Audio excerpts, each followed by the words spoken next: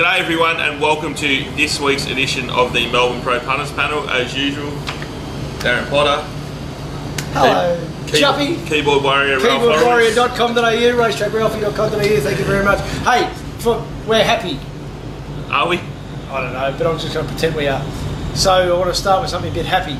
Okay. Yeah, we are happy. Racing's in great shape, isn't Racing's it? in great shape. Everything's going beautifully. Never, never been better place. No, I just normally we give our tips right at the end of the show, life tips. Yeah. I just want to start with one.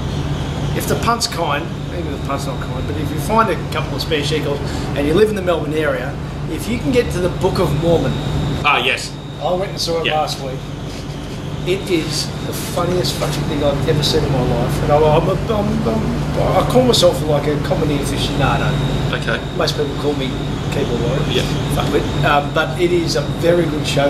There is not one bodily part, uh, act, excretion possible that they don't miss and put to singing words. It's written by the blokes who did South Park. I absolutely. Is this a is it- it's a movie? It's a play. It's a play. musical, It's a yeah. play. Right. They, they launch it next week, but uh, shows you how well I go at home. Um, uh, 15 months ago, Racetrack Zoo said that, that can do me for Christmas. I said no worries. And then I bought it. I thought that's Christmas all sorted. And then checked the tickets. I go, oh, fuck the tickets up here. It says Wednesday the 19th, but Wednesday is the 17th. And she said that says 2017. I went.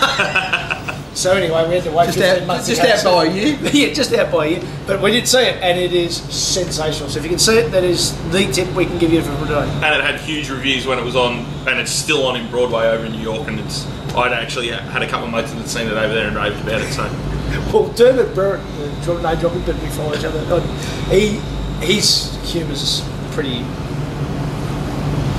yes, pretty Dermot like. It, it, just coincidentally, he, sent it out on on uh, on the night before from London. He'd been to see. Oh. same type of thing. So, yeah, I, even for this little YouTube stuff, I couldn't repeat most of what the stuff they sing about and everything like that. But it is just fucking sensational. Now, keen viewers will notice that because I am so happy, I've just had to temper things a little bit by just taking the edge off the happiness.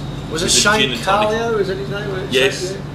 Yep, he, uh, tips. Toowoomba Tips. He gave a big shout out to uh, to Juppy, who um, he just wanted to know um, how he sort of tapered off by about part three of the last show. I was, I was He's a in trouble by that boy. stage. It was a warm day that day. It was particularly warm. Well, it's hot today, isn't it?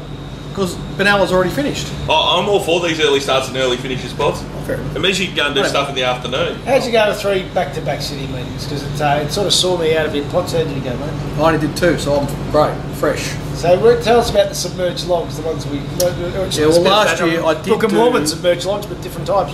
Last year and the year before, I did uh, try and bite off more than I can chew, and um, I found that back-to-back meetings were a real problem for me. That was a definite submerged log Yeah. that I hit, and um, uh, so I've learnt my lesson. And uh, the reality is, Ralphie, we're in an extremely competitive, challenging marketplace and Yep. industry, and you don't have to be far off your best to be underwater. Yes. You know what I mean? So the edge that you've got um, is there because you're fresh and you, you know you, you're able to think through races and Yeah. capitalise on the on the right sort of opportunities. And if you push yourself too far and you get jaded and you start to rush things and you just miss little pieces, and it doesn't take much to turn what is a, a you know a competitive edge over the marketplace to a disadvantaged situation. And I found that was the case. So. You know, I've just promised myself not to do back-to-back meetings ever again, and I don't So do are them. you brass going uh, the Friday nights? Is that sort of Pretty much, yeah. yeah. Just so you can. Saturday's your core business day. Yep. I do every I do you know the two city meetings every Yeah. like the Wednesday and Saturday. Yeah. And when the carnivals come around or the public holidays, as long as they're not so like I was happy to do Thursday, Saturday. Saturday. That was fine. Cup week, Tuesday, Thursday, Saturday. I can cope with that. But it's just when they're back to back, particularly if it's a night meeting Yeah. into a Saturday meeting. There's I'm, I'm there's no way I'm doing both full meetings because it's just it's too much. I actually didn't know how I did it, but then well, we were talking before we started, and um, I, I went up to Lakes Entrance last week with the family and a few days in the water, and I was actually came back really fresh. But to do that normally, no. And also, I think like I'm good tracks, sort of a lot more confidence, and the tracks have been very well presented at the moment. Talk about that soon. Um, but I think that also helps your mindset a little bit. And to me, in the like in the middle of winter, like Queen's birthday weekend or something like that, no, I'd rather just make less money and go to the footy and Yeah. tune out a bit. But yeah, we saw some very good racing and some old mates going around where I don't think we uh, we saw a lot of there weren't a lot of race racing in the races, were there? Yeah, the tempos were just shithouse. Again, Flemington on Saturday was populated by races where the, the, the horses weren't tested Yep. as they should be for that, that horses of that class, and the cream didn't necessarily rise to the top, you know. And um, you know that I, I struggle with the understanding the jockeys not seeming to get the concept that if you're on the best horse in the race, it's really your obligation to, to do everything you can to make it a test. And if you don't, then you just become a victim. Now, some horses, there's nothing you can do about it. But you know, a lot, a lot of the time, you've just, you know, on, so on Saturday, for instance, if, punters get Vince's data or other sectional times, we can go and look at even the most, you'll find that the last 600s of most of the races, so there's not a lot of difference in it because all of those, the, the vast majority of horses that are racing on Saturdays have got ability. Yeah. They can run 600 metres quick. Yeah. So if you allow the races to become less than their full distance, right? So whether it's 800 metre sprint home or a 600 or a 400, there's not a lot to, to separate the horses. There's not much between them. Now, if you're on the best horse in the race, you don't want that situation to evolve. Well, I like uh, I liken it to golf in this respect. No, you, there's no sport you don't bet on, Johnny. But uh, give me this analogy that any of us can beat. uh, Tiger Woods was a cliche there, or Jordan Smith, um, on one hole if we flick one good shot. Yeah. And a par 3 If we can hit the ball 200 metres and the par three is less than 200 metres, we can beat it on one hole. We are no chance whatsoever from three holes onwards. Yeah. No. And I think that's the analogy with racing, that the slower you go, the more compressed the field's going to be. The faster you go, the more it's going to be a test of talent, surely. Yep. And why don't other people realise this? What what are we missing? Well, I think one of the problems is that it- when you go to the further down the future and you go, Yeah. it doesn't matter so much. In the provincial racing, it's more about position. It's not so much you know you can you can overcome all sorts of things because there's such a spread in you know Oh, talent talent, in the races, right, right? yes, So yes. as long as your horse is well positioned, it doesn't really matter how quick they're going. You can just win the race. You know what I mean? It doesn't really matter. And the, and they the jockeys ride in a lot of those races, so that's where they train. Yes. They get used to that, and they're not recognising the difference. The, the, the real difference there is between Saturday racing and the rest. It's a there's a a jump of it on average. It's about three lengths, right, Yeah. between the next best you know, and Saturday racing. And the only way you'll get separation in those fields is to test them properly, and then you'll get proper spreads in the margins. But it, as soon as they start running slow for large chunks of the race, you'll get very compressed finishes, and because all those horses can run fast for 600 metres. So, like the best example of it is Mubarak winning that, whatever if that's what it's called, the Adelaide horse Yeah, that. Steve Arnold let on the lay on. At a walk. You know, you know what I mean? Like there was just less than a length between eight runners. You know, there's just no. The, the form is completely meaningless. So, so It's unhelpful. It's just And Jumpy, back me up here. I, I, I think it sounds to me like that's why you're not on Twitter because you would be a keyboard warrior at the moment. Like, you, you would be qualified to be a keyboard warrior. What you just I've just spent the last fortnight lis- listening to Basil Zempilas and Ads for MKR. well, the reality is, Everyone wonders I've up. I've, I've just come to accept that's how it is. So I'm just Yes. I'm describing how it is. I don't know what the solution is. I'm just talking about it, and I move on to the next race. You know what I mean? I just move on to the next race, and I try and recognise those races So that's possible. And you know, in hindsight, there was every chance that was going to happen in that race. I anticipated that Dwayne Dunn would take the sit on, top me up, because the horse is suspect at 1400 metres. Like you know, anyway, like it just it was all, that was always going to happen, and I'm, if anything, I'm critical of myself for betting in that race. Like, I should have known that was Were a you on very. Jubio? I saved him, Jubio. Oh, Top me up as a horse I back. I was. No, it, it, leads to an interesting um, dynamic when it comes to hindsight bias. In other words, Yeah. saying I should have done this after a race where you got it right or wrong. Because the horse pulled up late. Yeah. Now, the week before, uh, I was on a two-bet play on Last Speciale and Aurora Globe. I liked the Sorceress. I said, this is main danger. I think two are going to be in front of it and will be enough. Now, they both both pulled up short. So you don't know. So you can't price on something you don't know. So my question to you is, with Jubio, you're not going to know that it's going to turn up Wayne, but he had a history of... so in other words, I should have priced more of that in to my price Yeah. that he could have put up short because clearly the horse had issues along the journey. Does that make sense? You know what I mean? Mm. So for an unsound horse, you're being stupid to yourself pricing it to its best. But Yeah. for a sound horse, you're just going to cop it if they get injured in the running. That's right. Yeah. Yeah. That's right. Yeah, I mean, all in, everything's always easy in hindsight. Yeah. You know, No, no, Jubio, had two runs. He he produced his career, career best at Ballarat Yeah. with a perfect run, a perfect ride. Everything went perfect. Yeah. And then he was favourite two weeks later and scratched with a foot abscess. Yes. And then they get him out for 70 days and bring him back. Like, But that was it a makes foot abscess or a foot abscess? You know, they're like, oh, I know a bloke's father who goes to Thailand to fix his teeth. So, No, in this case, it was definitely a foot abscess. oh, that's all it was. All right. But So- you know, they're not. They're, they're, they're, they're I mean, horses with feet problem. Really, they are one of the. They're, they're difficult punting propositions. So on on, uh, on Thursday, we saw a race. I think it might be all connected to uh, to uh, serve that Damian Lane gave me, um, where summer win. Now, was it a month ago? We gave Andrew Mallyon Yeah. the best pump up you've ever heard any jockey get. Yeah.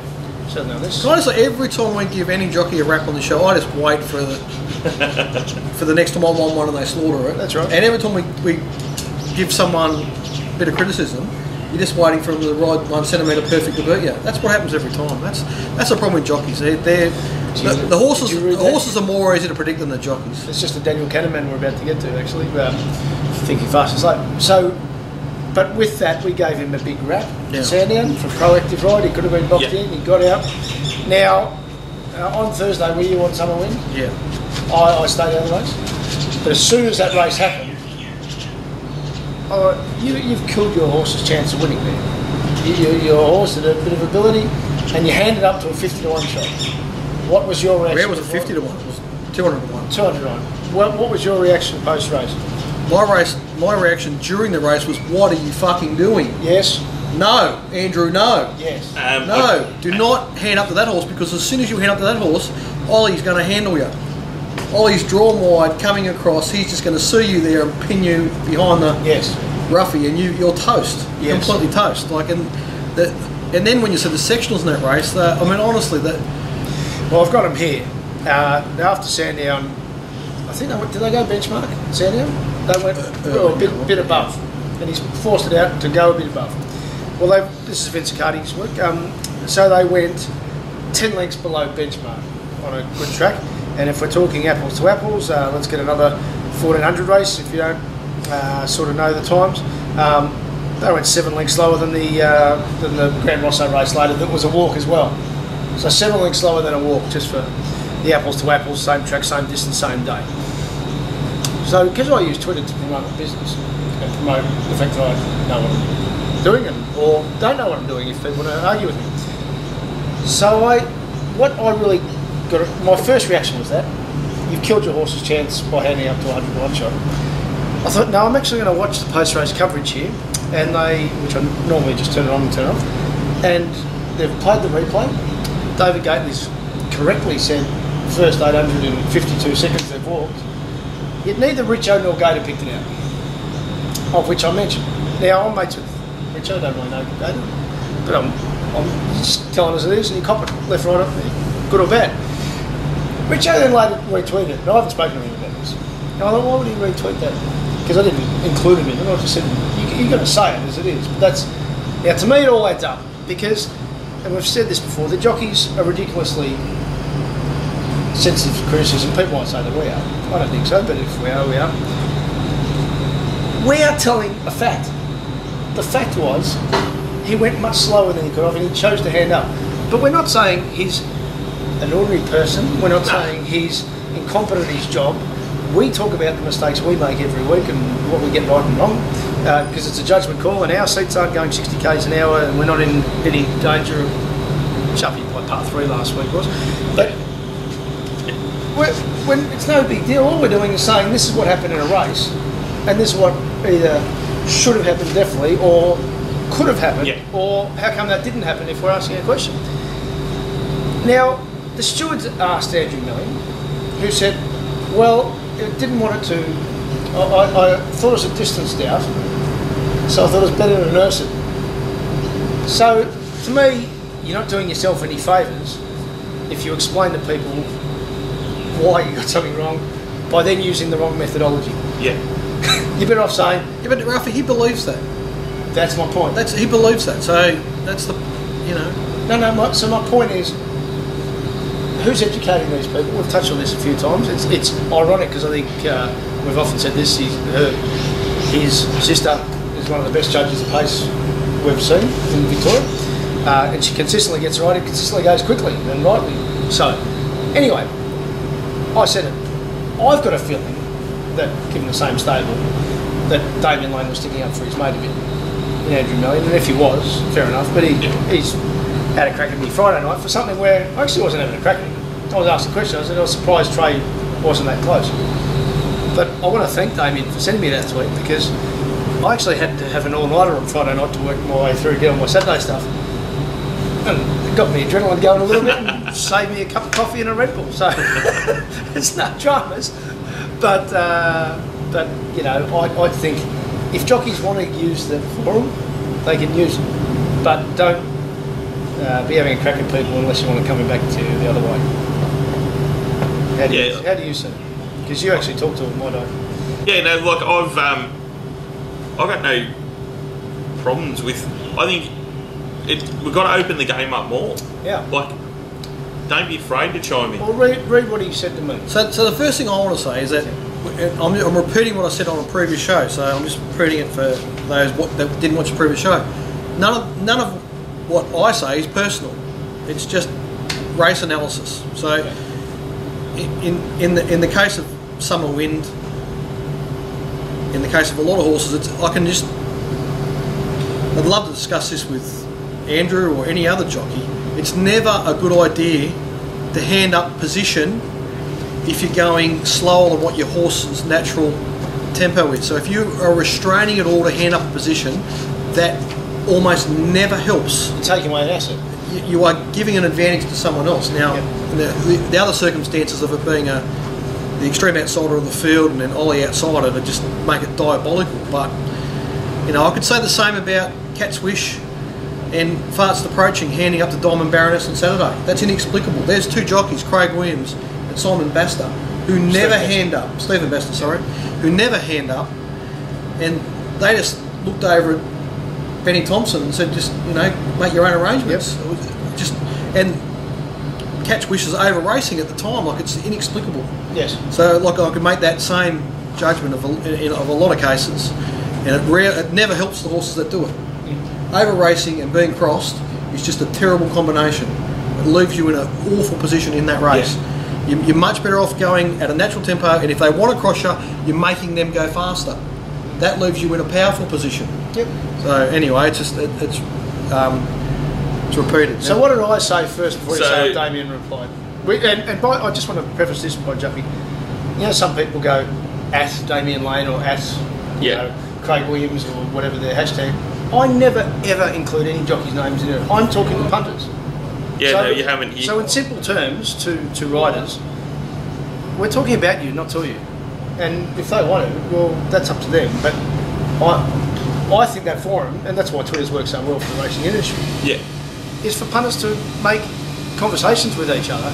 And let me assure you, to jockeys, the, their suckhole supporters, or anyone in between, that you get found out pretty quickly on Twitter if you've got no idea what you're talking about. And if you're well, just a hater, I've, or, I've made an expert out of that. Oh, I would just say to the jockeys, if you're going to engage in the Twitter stuff, you've got to take the good with the bad. You know what I mean? The reason I'm not on Twitter is because I know I haven't got the time Yeah. to deal with the whole thing. So Yeah. if, if I'm going to pick and choose, that's not right. So, so I just don't do it. The thing is, Pots, if you're going to get into arguments with idiots like me, I'm going to drag you down to my level but you want experience. That's it. So Ralph tweeted, "Righto, eh, interim hashtag Walling report with Trez. If it wasn't if if it wasn't three to four links better than the winner, I'll go heat. Don't know why he was so far back early. Hashtag vomiting." To which Frosty replied, "How about because he doesn't have any early speed, Ralph? Question mark. Hashtag grandstand jockey. Hashtag keyboard warrior." Sam Swinell, who's um, used to be on RSN and has now gone out and where are you, Sam? Because I need an account with that spread betting company that you started up. Reminds me, I've got to look into that. Um, at Damian Lane, you are a gun, but that is absolute rubbish because it came from well back last start. You showed no positivity, cost at the race. To which, of course, Ozbet had to chime in. so Ozzy said he's done absolutely nothing wrong on it. Winner has handed up to a thousand to one chance and has been blessed to get the run. Ralphie replied, What amuses me, Ozzy, is I was personally surprised, not critical where it was, and starting and stating it was un- an unlucky race shape wise. So anyway, to, to, to cut it all And then, but is- Ozzy oh, made an interesting point in the next one. Yeah. None of them looked very interested. Lane got stuck behind MD, who was on a mission to go slow. No, no, hundred percent, and and that's that's what we talk about with race shape. And then, so I, I looked at the replay, thought, i- is he is he being urgent here, or is he being deliberate uh, in pulling back? Yeah. I don't think so. And what what comes to your mind when you know form as we do in our era, we think, well, generally errs on the side of going forward lane, hence his great Yeah. record.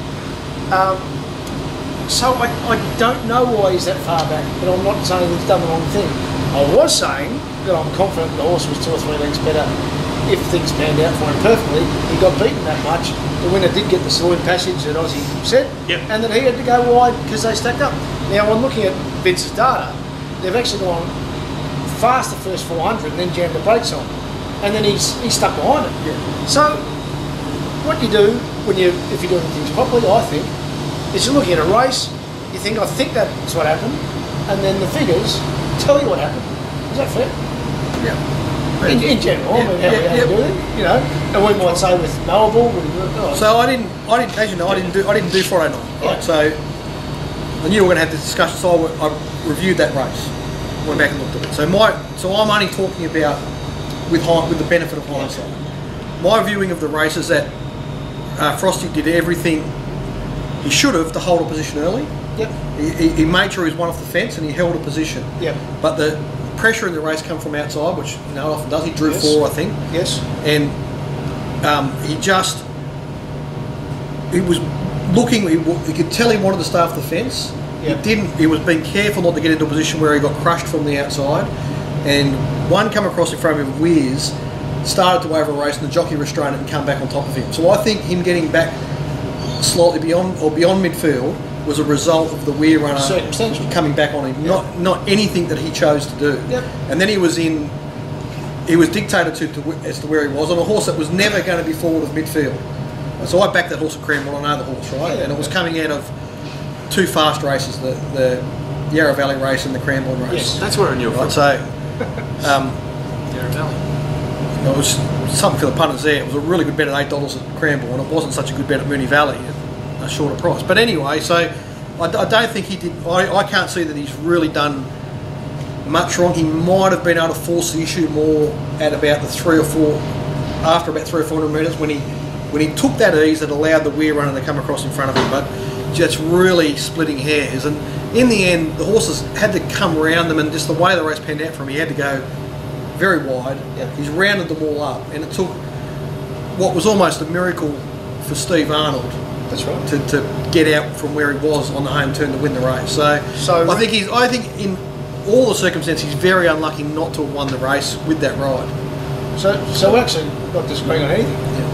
No, I'm just, I'm just, I'm just Yeah, tell- no, no, I'm, tell- I I'm telling the punters 100%. my review of the race. And the one thing I will say, punters, in terms of um, if I can offer any helpful hints, you have to be very careful of horses coming out of fast races going up in distance. They're, it's a very it's a hard circumstance for them to hold their rating. Yeah. So, so in saying that I'm vomiting, and then it's a two or three lengths better horse in the winner. Thank you, Gary. Thanks, Gary. Gary's got the uh, the refreshments for us. Um, that's not me saying that the horse is slow. Yeah, no, would. That's it's just not. It's saying that the horse was unlucky, and and the one thing it's not sitting on the fence because uh, if Damian wants to uh, have an argument about his ride in the United States or in a show and it's out at sale, let's bring it on. But what I'm saying, where I had to say the question mark is the Moonee Valley, from the shot that we get, jockeys are running riding away from them. What, uh, is it from the mile?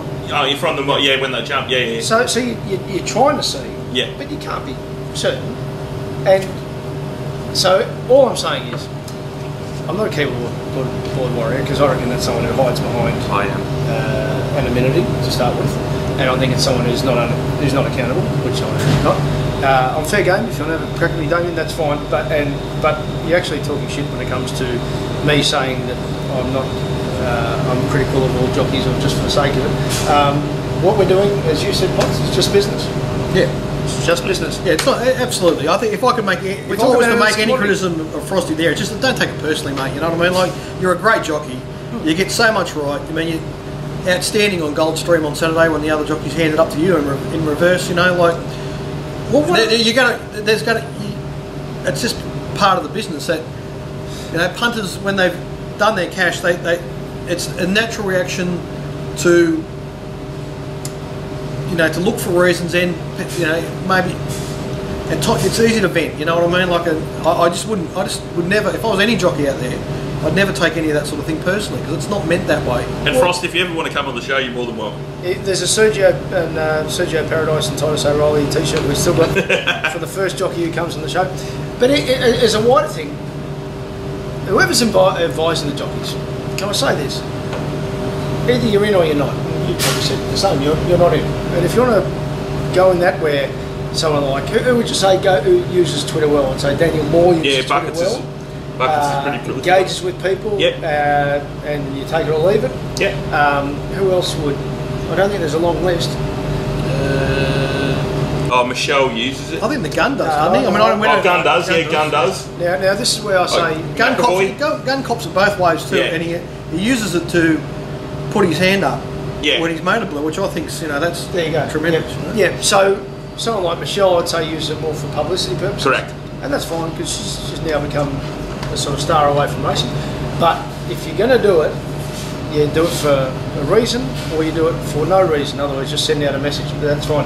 But if you want to try and banter, well then be up for it, and be up for the good and bad, if, as you're saying that Avdallah's doing.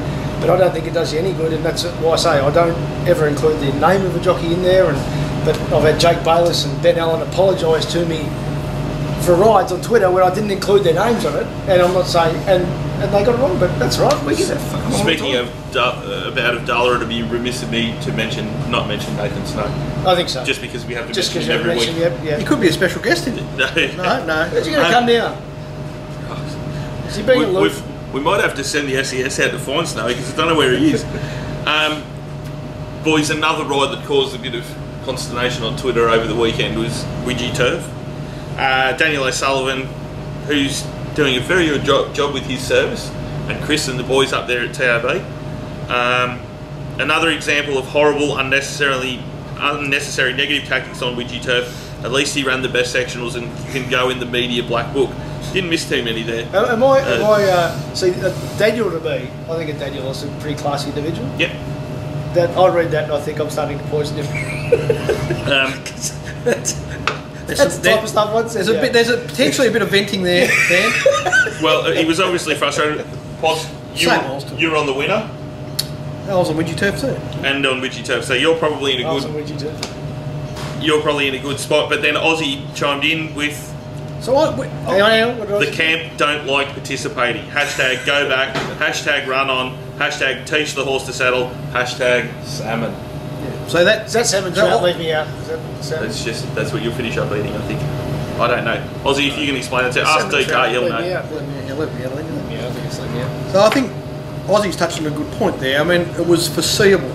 Yes. Okay, so I spent, when I did the map for that race, I spent a lot of time trying to work out if there was a way that Widgee Turf would end up within four lengths of the lead.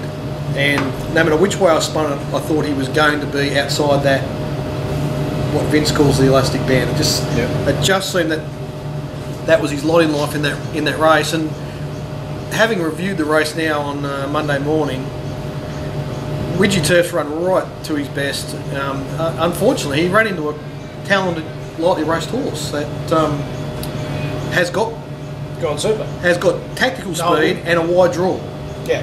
So, Noble tactical speed, wide draw, one by one. He was going. He would no matter what way, what position you give Widgee Turf, he was going to be very hard to beat. And Widgee Turf's done a tremendous job to get within a neck of that horse. So, you know, they've run seven lengths quicker than Diamond Baroness, who was gifted a very soft lead. and just, I just want to have on the record that I won on the Diamond Baroness race. I'm just mystified by Craig Williams and Simon Bastar looking over. The- Baston, what did I say? Simon. Sorry. Simon's his far less talented I've brother. got so- someone on the Brabs already. Looking over to allow that horse to cross so cheaply. But anyway, um, and the, the other the other 1400 metre race where Steve Arnold was gifted a very cheap lead yeah. again was al- also seven lengths slower than the um, Noble race. So that that's just too that's too big a gap. Yes. So, Saturday horses. so with Knowable, went super. Well done to Potts for finding it. Um, with Widgee Turf, the ride itself, positioning early was okay relative to the speed. No dramas at all, which to the eye was a surprise when the figures came through. Um, what's cost the race on Vince's breakdown to me is that between the 800 and 600 he just sort of lost that length and a half and that was the difference ultimately when he got beaten I think that's right because that's where he got outside the, you know, like the, the gap between him and Noble at that point just stretched out a bit. And, Yeah. and, when with Noble going that good, yes he was going to be a very hard horse to run down, and getting within the neck of him was a pretty good effort. So, what I'm saying is that uh, it's a matter of semantics. Definitely wasn't a slaughter by Beau Mertens. What would we would have liked, and as Ozzy said, is most other stables they would have said, "Bang, put it there." But so put it a bit outside of its comfort zone. I think Regan Bayliss post race from Noble said, Yeah. I, "I was going too quick, but I just had to go." Yeah. And my thing is, you win a lot more races by erring on the side of going too quickly than waiting Not too yet. long. But the point, the point is, this is one of the. Uh, we're getting to the, a tipping point here in race analysis Yeah. where people are over analysing things a bit too much. Sure, Noble was going above benchmark, Yeah. but that horse was travelling really naturally. Yeah. So I, I know what Regan's saying, but Yeah. I, I- think there's a lot of advantages in travelling above average tempo if your horse is Yes, it is. doing it naturally. Yeah. Yeah. That That's a great way to win races. So I just want to underline that that wasn't a bad ride by Beau Mertens. I send out via my keyboard warrior.com.au stuff, uh, best and worst rides and best losing rides every week. And I didn't put uh, for a reason. It was not a bad ride. If he had have, and, and, and there is an argument, if you watch the horse really closely, I don't know if you picked this up, but I heard him say it uh, via Brent Sarafa in post-race interviews on the Kremlin, um, that he, uh, he, probably needs blinkers, and maybe that's one of the reasons why he lost a bit of position. And Beau Mertens on the Friday night, the night before, ran a cracking race in the last race in Moonee Valley. He's a kid who is going well, and we will call it as it is, because if, if someone's not riding well, we'll say it too. But so it was just a matter of semantics. I think the horse should have won on the day with a slightly different ratio, but I think Knowable is the one I definitely want to be on next day. Um, Yeah, well, I, so I really like Beau Mertens as a jockey. I particularly like backing him at Sandown. His owns races. I think there was a lot to like about that ride. And you know, if Beau wants to analyse himself, look at it like he he probably could have done a little bit more in the first 200 metres of the race to hold a position. That's but I think he was trying to make sure the horse didn't get over racing. yeah. So that's splitting hairs a bit. But then once he got where he was to save the to read the field, Yeah. to save the ground he did, and then just come out across their heels and give his horse an opportunity to let down and win the race it was pretty good. You know what I mean? He, he did a given how far he got from the his main opponent, which ended up being Noble, because he ran down all the others. Like he, he rode the horse well enough to get past O'Dore, to get past Mr. Sneaky.